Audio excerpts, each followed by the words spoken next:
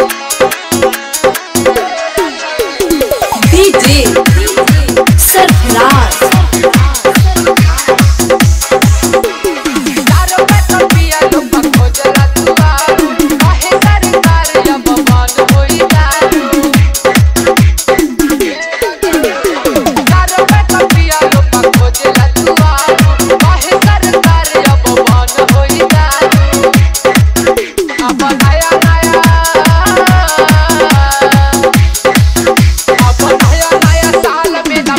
बता कैसे तू दिया बहाई